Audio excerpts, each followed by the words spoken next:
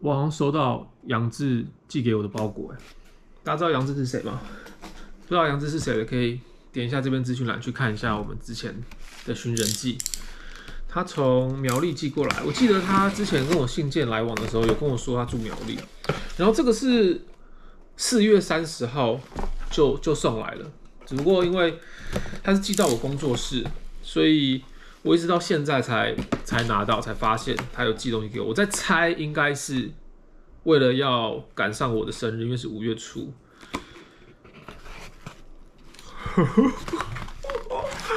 真的是一个礼物的包装哎！杨志，杨志寄给我什么？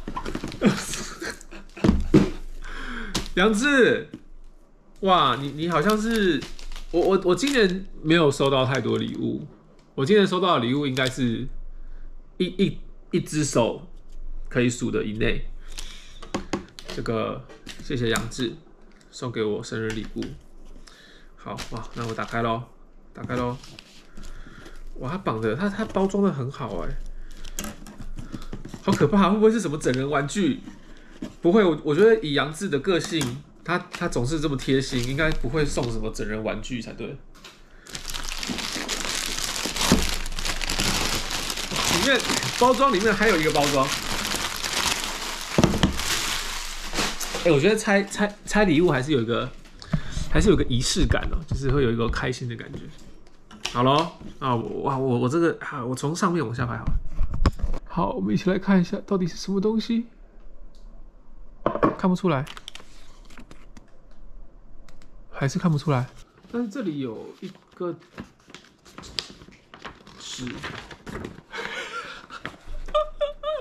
超级杨志风格，他 他把他把字直接列印在白纸上面，做成一个。一篇论文给我读，对，因为大家也知道他的风格嘛，他总是会在我影片底下留下他的各种想法跟及时的回馈。OK，好，这个我会慢慢读。这个哦，他他这个是，他这个是非常详细的讨论了这个，他非常详细的描述他送我什么东西。基本上他送给我的是 iCash 二零的优待卡以及精灵宝可梦的。悠游卡写的就是在描述这个要怎么使用，跟哦，然后然后他还送给我一个风一个风铃，一个风铃哦。后面他还讲到唐奇阳老师对于我就是呃金牛座所做的二零二二年下半年的预言，所以他根据这个预言呢，决定要送我什么礼物这样子。好，我读最后一段。虽然之前有跟邢瑞几次讲过，不过还是想跟邢瑞这么说：希望邢瑞在身心健康方面一直可以拥有非常好的健康运。